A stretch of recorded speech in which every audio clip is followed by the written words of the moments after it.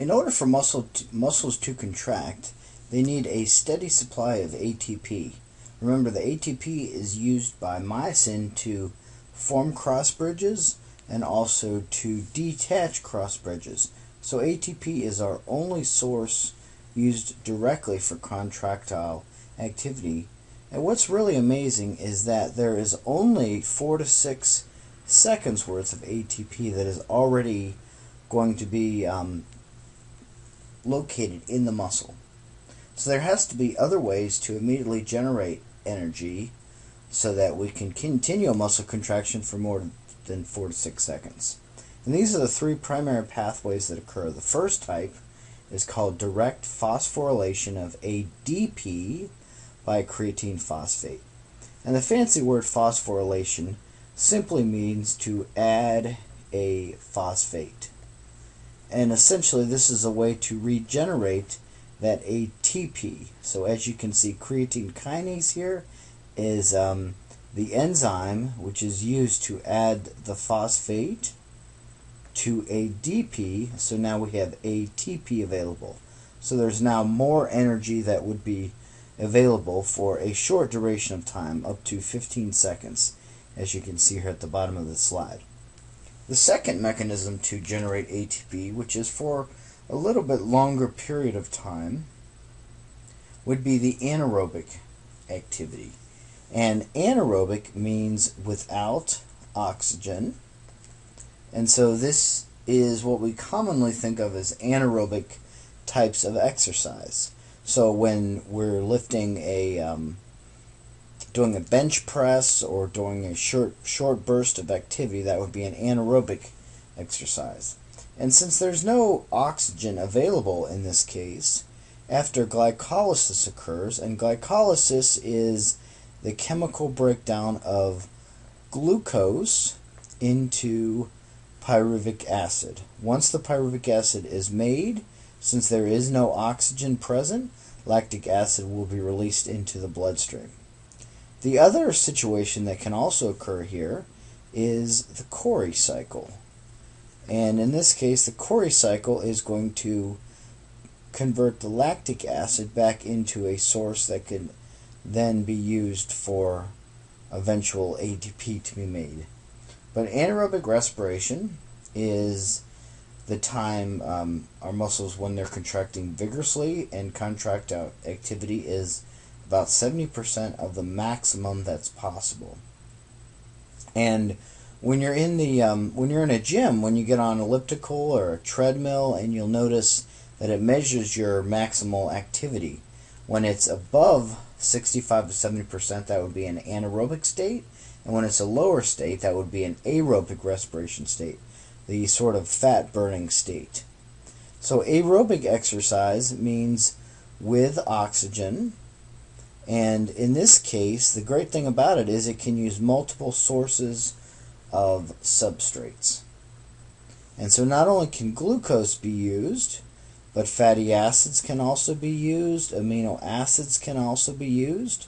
But the key here is oxygen, and there is a mitochondria that would be present, which remember you learned back in chapter 3 is the powerhouse of the cell. This is the type of energy that would be produced for marathon runners. They can have a long duration of exercise. In our next slide here, we can see a short duration exercise. The first six seconds, the four to six seconds, are due to the stored ATP that already is in the muscles. This is kind of the ATP which is already on tap. Then there is a second amount of ATP that is going to be synthesized through direct phosphorylation. So the direct phosphorylation is when we involve creatine phosphate. This is the same type of creatine that you can actually get at GNC, but it's really not necessary because we already have a certain amount of creatine that's available. The creatine molecule is going to act as a bus to transport this phosphate. So this phosphate is transferred to ADP to synthesize the ATP that will be used for this 10 seconds. So the combined 15 seconds of activity is going to be made up of the ATP that is stored and the ATP formed from direct phosphorylation of creatine phosphate. And then what happens after this is due to the amount of glycogen that is stored in the muscle. Remember, glycogen is an example of a an important polysaccharide. It's many thousands and thousands of units of glucose molecules put together. This is stored in the muscle and it's going to be broken down to glucose. How it is utilized then is going to determine the length of the time with which we can exercise. So it's, if it's a short duration of activity, 30 to 40 seconds, then this would be the anaerobic respiration that occurs. So it's without oxygen, and there is lactic acid that is produced. The lactic acid is going to lower the pH of our bloodstream, and that is going to cause this burning sensation that we feel in our muscles, especially if we're doing an activity that we may not really be well suited for. So, if um, an unconditioned person suddenly starts to to um, try to run a mile, and after that first minute or so, they start to feel this burning sensation. The um, third example of muscle metabolism is aerobic respiration, and this is the one that's with oxygen, and it produces a lot of ATP. And there can be an example of 32 ATP that is produced per one glucose molecule. So there's a lot more ATP than what's available in anaerobic exercise. In anaerobic exercise, there's only about 2 ATP that is produced. Now, muscle fatigue is a state of physiological inability to contract even though the muscle may still be receiving stimuli. There are many factors that can contribute to this, but when this starts to occur, the person goes into oxygen debt. And so it's kind of the point at which the muscle uh, needs to gain oxygen in order to return to a resting state. So when a when a person when a tissue itself is in muscle fatigue, when it needs to return back to its resting state, these are some of the important factors that need to be replenished. The oxygen stores need to be replenished. There has to be lactic acid that is converted back to pyruvic acid. This would be the Cori cycle that does this. This is kind of something extra, it's not in your textbook. And then the glycogen stores must be replenished so that the next time the muscle wants to con- wants to contract, then the glycogen could easily easily be broken down into glucose. The ATP and the creatine phosphate reserves must be resynthesized so so that the next time ADP can be phosphorylated to make ATP. So oxygen debt is the extra amount of oxygen that is needed in order to rebalance the metabolic activities of the tissue.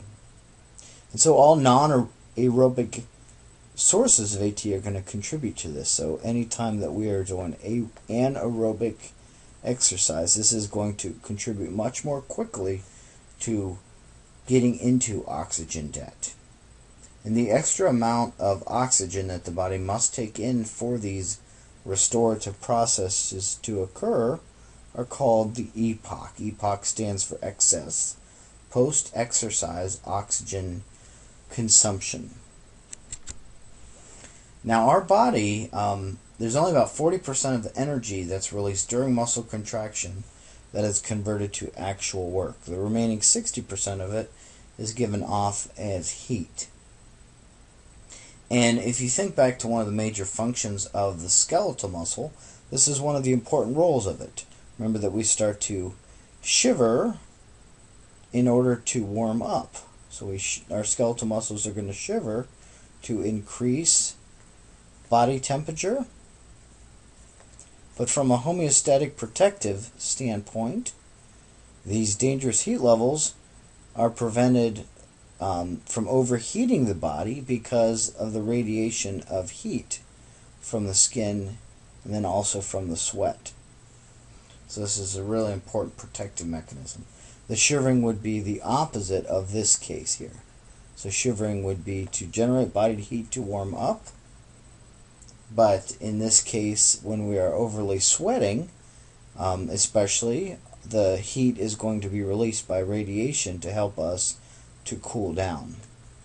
So this is to cool down, and shivering is to do the opposite, to help us to warm up if it's very cold outside.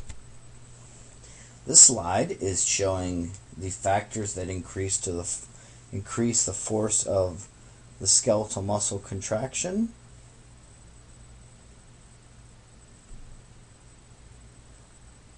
And the first one that's shown is the size of the muscle fibers that are being recruited. So the bulkier the muscle, the greater its cross-sectional area, the more tension it can develop and the greater its strength is going to be. So regular resistance exercise can increase the force by causing these muscles to grow or increase in size. So um, certainly um, when we talked about motor unit recruitment, remember if a muscle is going to be maximally stimulated, then there's going to be many motor units that are actually going to be recruited.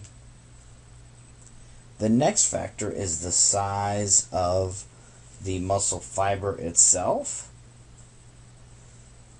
The third one would be the high frequency of stimulation, uh, wave summation, which leads to tetanus. And remember that a smooth muscle contraction would be called complete tetanus. So these waves are going to summate on top of each other so that we see a nice and smooth tetanic contraction. And then the last factor is going to be the muscle and the sarcomere stretch.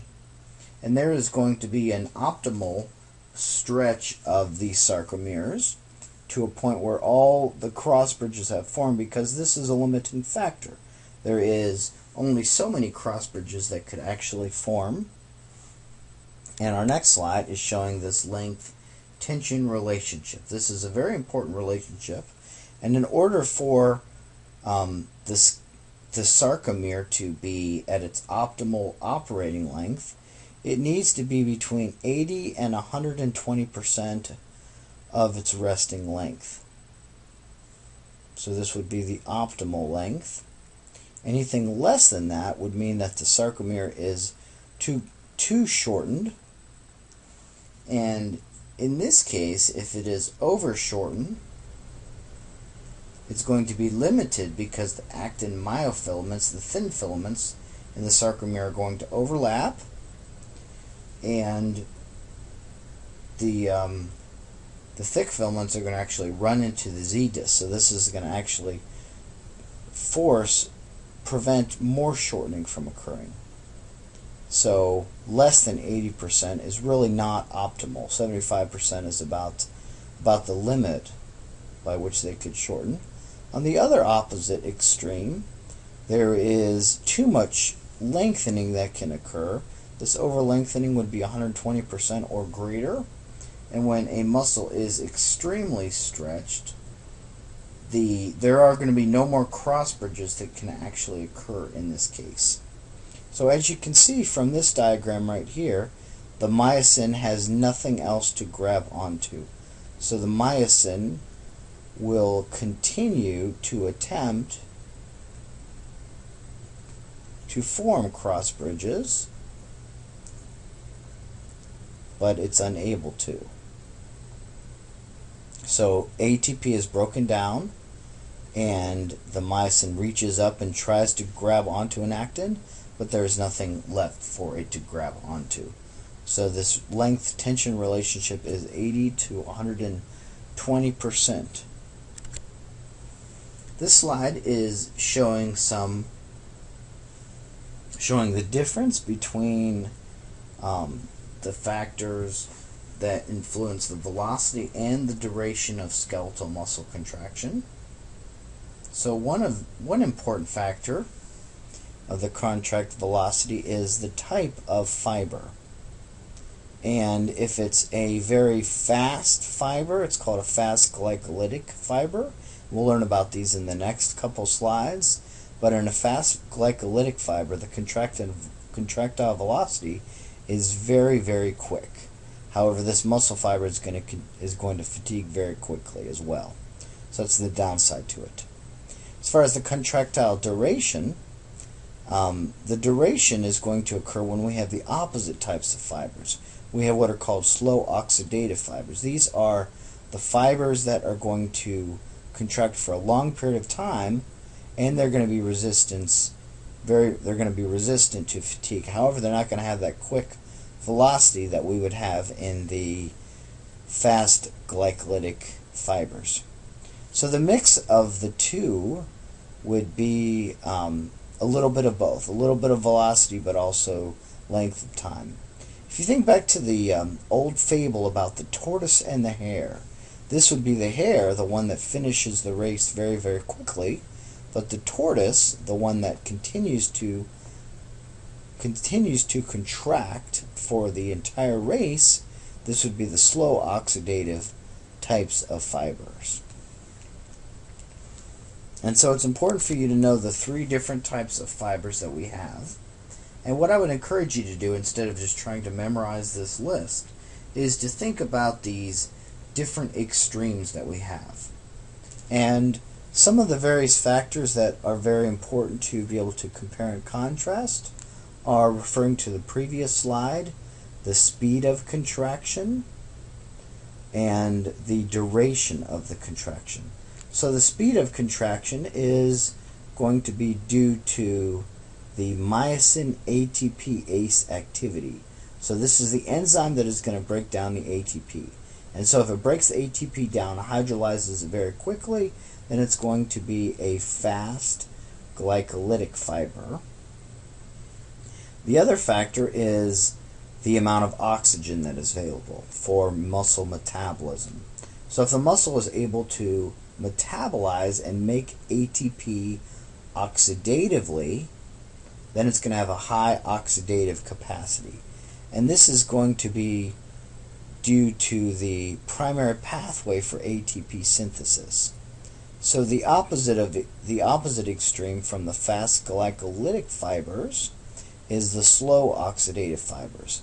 These would be the tortoise fibers, the ones that can continue to last the entire race. They just not may not be the first ones.